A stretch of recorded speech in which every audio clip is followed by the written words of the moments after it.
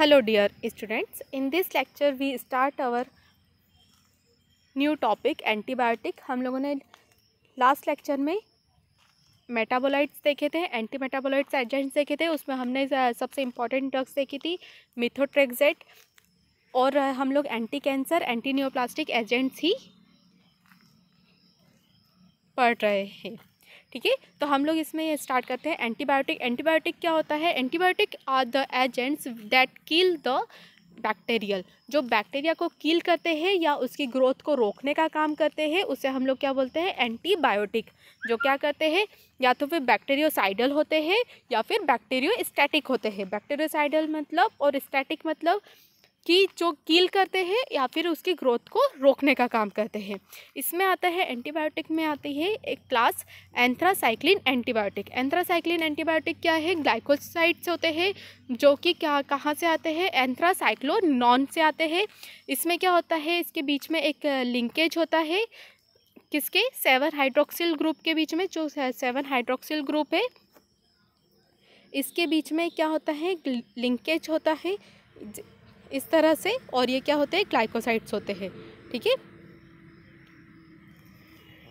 ये इसका common structure है कॉमन स्ट्रक्चर और यहाँ पे इसके ड्रग्स है ड्रग्स के अकॉर्डिंग यहाँ पे अलग अलग ड्रग्स है, उसके according R one R two R three पे अलग अलग तरह से सब्सटीट्यूशन होता है, ये इसका कॉमन स्ट्रक्चर है, ठीक है? अब हम लोग ड्रग स्टार्ट करते हैं।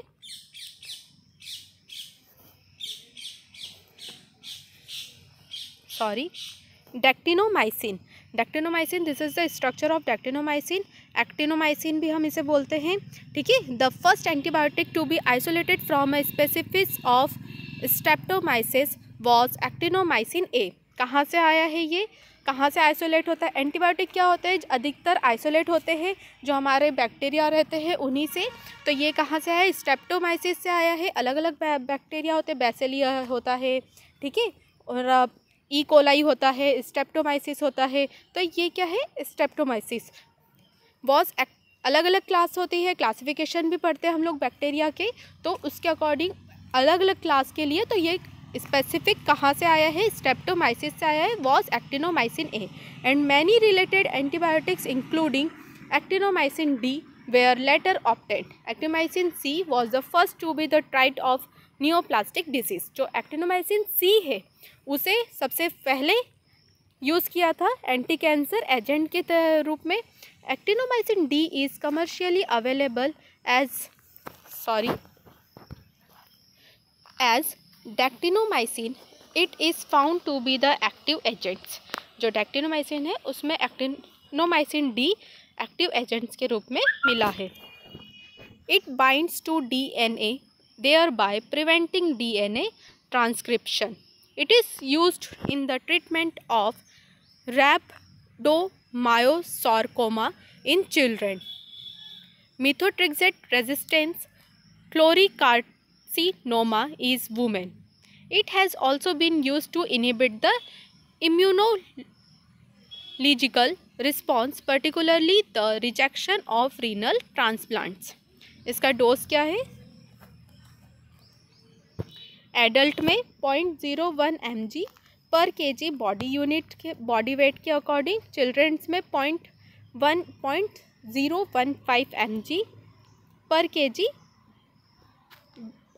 according to the body weight. Daunorubicin, इसे हम लोग के फॉर्म में लेते हैं? सॉल्ट फॉर्म में, हाइड्रोक्लोराइड फॉर्म में लेते हैं। This is the structure of daunorubicin और ये इसका आयुपेसी नेम है। Anthracycline constitute another complex and bigger family of antibiotic. ये क्या है? बिगर फैमिली होती है। दे मोस्टली ऑकर्स विथ, हमने अभी पढ़ा है ग्लाइकोसाइड से ऑकर्स होते हैं। एक ग्लाइकोन रेसिड्यू होता है ये। Act by interaction with the DNA in both normal and neoplastic cells. ये क्या करते हैं? इंट्रैक्शन करते हैं डीएनए से। जो सेल का जो डीएनए रहता है, उसके साथ इंट्रैक्शन करते हैं और अपनी एक्शन शो करते हैं।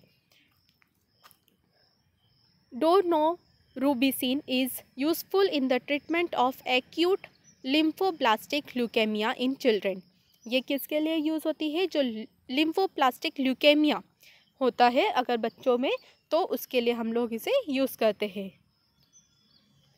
और इसे हम लोग कॉम्बिनेशन थेरेपी के रूप में दिया जाता है। किसके साथ में? Cytosine arabinoside in the treatment of myelogenous leukaemia और इसका डोज क्या है? Sorry forty five to sixty M G per body weight के अकॉर्डिंग मैकेनिज्म ऑफ़ एक्शन क्या है? Dealt with individual as under